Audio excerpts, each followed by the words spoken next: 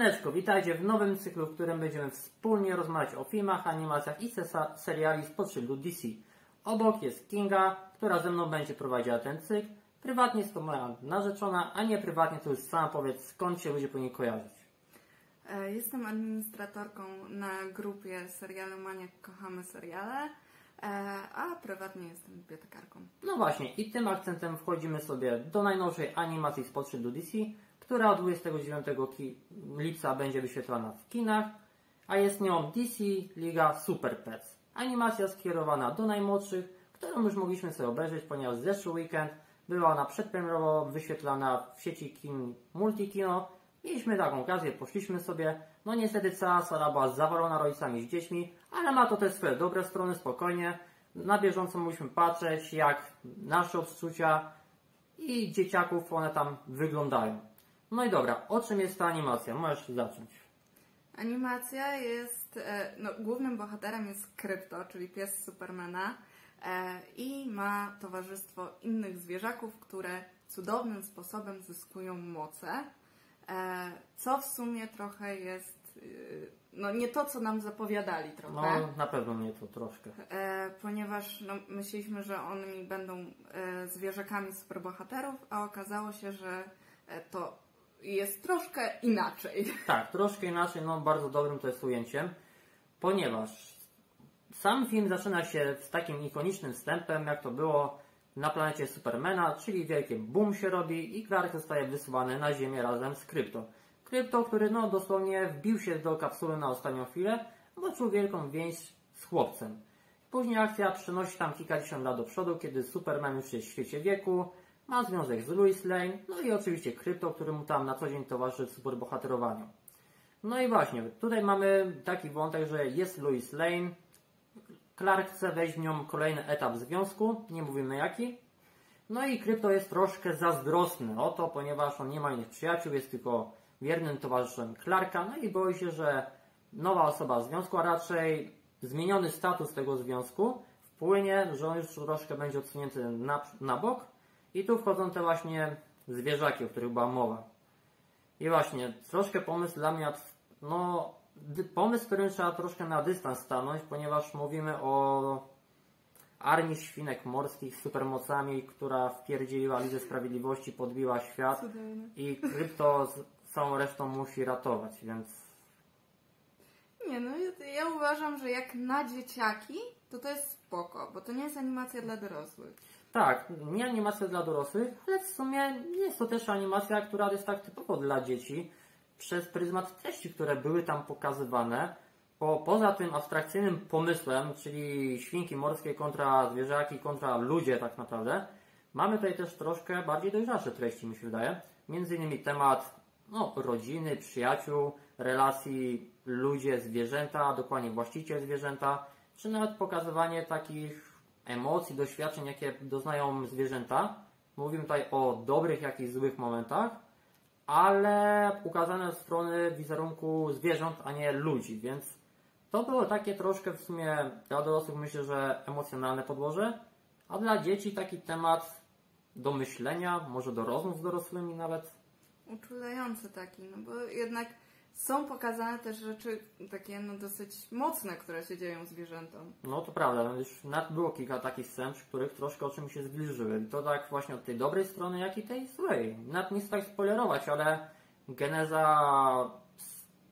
No właśnie, nie tutaj spoilerować ten, ale drugiego psa, że tak powiem, no to byłam takim doświadczeniem, że to oczko w głowie się troszkę No, Przewinęło. mi łzy poleciały. No ja też taki troszkę byłem wzruszony, bo to nawet, to jest nawet była taka sytuacja, która na co dzień bywają poruszane, wiele się o takich słyszy i zawsze zwierzęta są tu stawiane jako takie złe, a tu mamy pokazany taki inny wizerunek, taka relacja człowiek-zwierzę, która no rozczula jednym słowem. Szczególnie jak ma się psa. Tak, szczególnie jak się ma psa. No, nam psy towarzyszą od zawsze tak naprawdę. Aktualnie też mamy psa ze schroniska, więc niejako inaczej trochę do tego tematu musimy podchodzić. I właśnie tutaj zwracam uwagę, że to nie jest taka typowa animacja dla dzieci, tylko są tutaj też podejmowane treści, przy których nawet dorośli mogą się jakoś utożsamić i znaleźć coś dla siebie.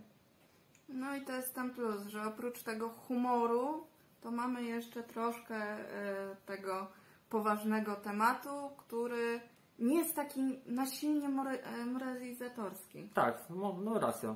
I właśnie jak już wspomniałeś o humorze, to myślę, że warto też o nim tak oddzielnie wspomnieć.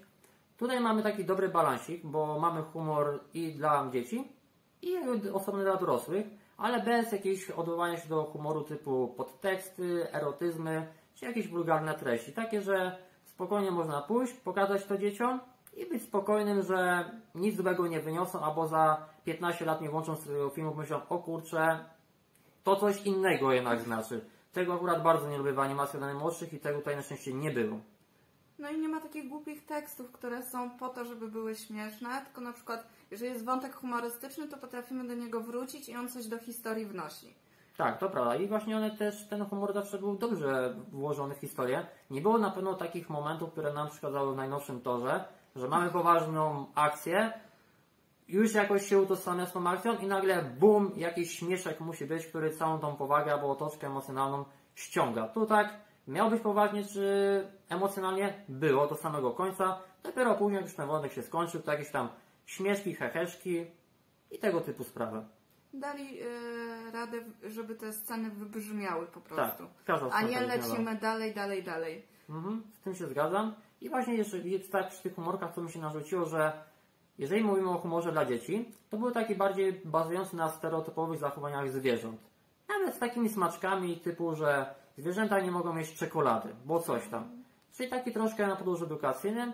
Dla dorosłych był to humor bazujący bardziej na odwołaniu do popkultury, DC, Marvela, czy nawet życia codziennego. Nie wiem, czy wyłapałaś taki może żart, gdzie było użyte słowo chomik. E, znaczy oni tam dużo powtarzali o tych Tak, chomikach. tak, ale była taka jedna scena, coś konkretnie do chomik. No to możemy się do świata internetu bardziej. Okej, to nie, nie, nie skojarzyłam. No, ale mi tak, ale to jest jedyny żart taki dla dorosłych, jak zapamiętałem i ktoś siedział, inaczej, kto kiedyś jak pobierał z czegoś w internecie, A, to będzie kojarzył. No tak, właśnie, to o tak. to chodziło, tak. No, to taki fajny balansik z tego i tego. Jeśli chodzi o dubbing, myślę, że też tu warto wspomnieć, że niestety nie ma wersji z napisami polskimi, czego bardzo żałowałem, ponieważ ta animacja była bardzo reklamowana za granicą tym, że będzie The Rock jako Krypto, Keanu Reeves jako Batman, John Krasiński jako Superman, no takie nazwiska, które ciągną do kina. Tu mamy tylko polski dubbing, który wydaje mi się, że wypadł dobrze nawet. Ja jak patrzałam, to jak to się mówi, te kłapy pasowały do tego, co leciało, czyli te Tak. buzie się bardzo Mhm. dobrze zgrywały z tym dubbingiem i to było bardzo fajne. Dokładnie tak i nawet myślę, że te głosy same sobie pasowały do postaci, tego co reprezentowały, charakteru. I na pewno nie było jakichś kontrastów, czego też nie lubię, wszystkie słowa nie zachowane. Nawet tak zdążyłem tylko sobie tak z zwiastunami porównać przykładowo krypto, jak to wypadał i wydaje mi się, że tutaj mamy lepiej dopasowany głos psiaka, no bo nie oszukujmy się, The Rock to jednak ma taki mocny, poważny głos i jeżeli mamy go włożyć w usta psiaka, to już bym wolał, żeby Krasińskiego dali jako krypto, a The Rock jako takiego człowieka ze stali. Szczególnie, że krypto to taki ekscytujący się. Tak, To jednak e, The Rock ekscytujący się czymś. tak. Zwiastunie tego może nie widać, ale są takie sceny i one tak, no, nie brzmią tak dobrze jak tutaj, zapewniam w polskim dubbingu. Tu jest naprawdę świetna robota. Mnie z tymi nazwiskami konkretnymi nie rzucę, bo aż tak się nie interesuje, kto tam komu podkłada głos, ale od siebie mogę zarekomendować, że jest bardzo fajnie pod tym kątem i się dobrze to słuchało przede wszystkim. Wszystko pasowało, to było najlepsze. Tak. I co jeszcze? Myślę, że o animacji warto wspomnieć, bo to też ważna rola jest w tym. Jakoś, ja nie gustuję w animacji 3D, wolę taką typowo rysunkową, ale ładnie to wyglądało. No z pewnymi wyjątkami postaci, myślę, bo nie wszystkim tak pasowały. Tobie chyba też nie każda. Nie, no sobie nie przypominam. Mi w miarę się supermoce podobały, chyba że mówisz o Wi- wiewiórce. Wiewiórka, no ona troszkę creepy, taki, nie wiem, no z twarzy jak patrzę na takiego wariata widzę i do tego anorektyczka tak bardzo mocna, to nie wiem, ja się tak czułem nieswojsko, widziałem po niektórych dzieciach, że no na jej wygląd też tak troszkę, no nie, nie, nie. Ale jak już ma strój, niestety, jak ma strój, to jest dobrze. Jak nie ma stroju, to jest taki, Tak, to jednak strój dużo ratuje. trochę taka szalona wiewiórka wygląda. no, wśród superbohaterów, no tu mam takie bardzo podzielone zdanie, ponieważ jak Superman, Wonder Woman, Batman fajnie wyglądają, tak nie No, wiem, tak. Cyborg z tym pół afro, bo to nie jest pełne afro, tylko pół afro, nie wygląda dla mnie dobrze. Aquaman to też tak O nie, to nie, to... Tu nawet nie chodzi o karnację, po prostu fryzura, proporcje ciała, to jakoś tak E, nie wygląda to dobrze po I jak prostu. miał te płetwy. Tak, półetwy to też. Ja rozumiem o co tu chodzi o ten zabieg, ale to nie znaczy, dobrze to wyglądało. To bardzo dziwnie wyglądało i no nie, jakoś. Ale wspomniając o tych superbohaterach też fajne to jest, że ci bohaterowie nie byli tak krótko w tej animacji, bo oni pojawili się na początku, końcu, tak większe role, a w środku też się pojawili. To myślę, że dobry zabieg i dla dorosłych, którzy by nie chcieli tylko zwierzaczków oglądać, no i dla dzieci, żeby tak zaszczepić w nich taką nutkę superbohaterów, bo to jest animacja, która myślę, że podejdzie dzieciom. Fajne są tu elementy. No i na takim wczesnym etapie wieku można zaszczepić tą nurtę superbohaterów, żeby kiedyś tam, nie wiem, ewoluował, może od razu, żeby zainteresować się tym bardziej tematem. No to są zawsze supermoce dzisiaj. No tak. E, supermoce i mówi się, o ja bym chciał być taki, ja bym Mhm. chciał być taki. No i tu mamy fajne połączenie. Znaczy nie od razu, ale później mamy taką bardziej współpracę superbohaterów z zwierzętami. Fajnie to wygląda. Kto wie, może jakaś kontynuacja jakieś, bo koniec jest taki, że no mogłoby coś z tego dalej być. No mogłoby. No mi się podobało, że ogólnie e, bardzo świetna była ta świnia pod względem tego, że ona bardzo lubiła superbohaterów i ona dużo tłumaczy, e, tłumaczy dzieciakom e, Mhm. pod takim względem, że a to jest ten i on robi to. Tak, to jest taki narrator, bym powiedział, taki zwierzęcy w sumie. No takie, że nie czujesz się, że wyjaśniają ci coś łopatą i mówi to taki dosłowny narrator, tylko Mhm. po prostu ta świnia służy jako takie wytłumaczenie wszystkiego, e, ale w taki fajny sposób. I ona się cieszy i ty się cieszysz tym wszystkim. Tak, to fajnie to tak działało, że tak powiem. I ogólnie historia była taka dosyć prosta, bym powiedział. Nic nieskomplikowanego nie było. No na pewno była kompletnie opowiedziana, to jest bardzo duży plus, że nie było też jakichś wątków rzucanych, niedopowiedzianych. Przede wszystkim, no główny historia, jeżeli do niej podejdziemy, dystansując się, że świnki morskie i tak dalej, to jest takie typowe kino superhero, oczywiście z fajerwerkami na koniec. Dobrze wyglądającymi fajerwerkami, chociaż w pewnym momencie już tak miałem wrażenie, że już tak chcieli troszkę przesadzili, byle to miało jeszcze większy wydźwięk. No ale na szczęście nie aspirujący do czegoś ambitnego. Po prostu miało być proste kino rozrywkowe i takie było. No mi się podobał, e, tak jak mówiliśmy już, ten po prostu balans. Były wszystkie emocje, jakie możesz poczuć. Było i radośnie, i było smutno, i gdzieś tam rozczulająco. No po prostu wszystko to, czego oczekujesz od filmu, żeby po prostu pójść i się nim nacieszyć. No, myślę, że właśnie taki dobry akcent podsumowujący, to jest dobra animacja i dla dzieci, i dla dorosłych. I animacja, która robi troszkę urozmaicenie w ofercie DC. Ponieważ jeżeli mówimy o świecie animacji, to DC ma bardzo dużo animacji. Każdego roku daje po 4-5 filmów, ale nie są to produkcje skierowane dla typowo młodszej osoby. To są animacje bardziej pod, myślę, że naszą kategorię wiekową, na pewno dorosłą, ponieważ są dojrzalsze treści, troszkę brutalne, ponure. No, mało takich typowo dziecięcych produkcji. Tu mogę wymienić tylko Teen, Titan, to Teen Titans Go Akcja, powstający Batwells, coś tam o tych superbohaterkach też jakieś były, jak to się? DC Superhero. Tak, to jeszcze jest. No i teraz dopiero mamy Ligę Super PES.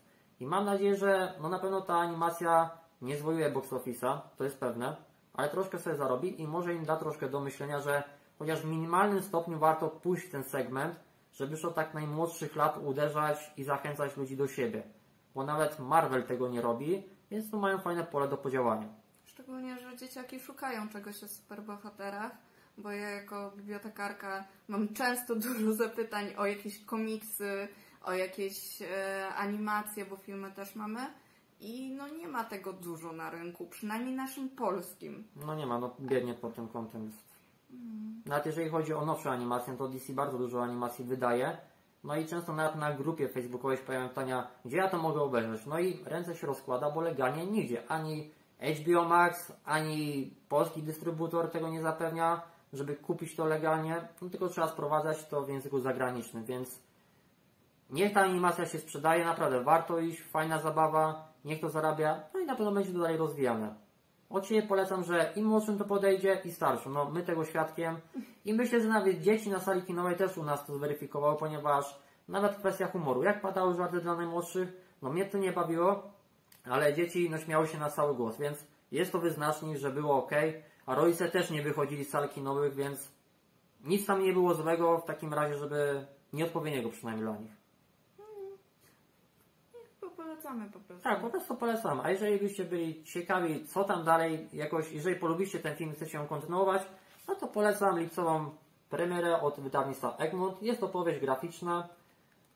DC, Liga Super Pets, Wielka Psota i warto zaznaczyć, że nie jest to komiks, który powinniście czytać przed premierą, przed filmem, tylko po. Ponieważ jak to nad tylny opis daje informację, akcja komiksu DC Liga Super Pets, Wielka Psota rozpoczyna się bezpośrednio po wydarzeniach przedstawionych w filmie DC Liga, Liga Super Pets, więc chyba, że chcecie pospoilerować sobie, no to czytajcie. Jeżeli nie, czytajcie po.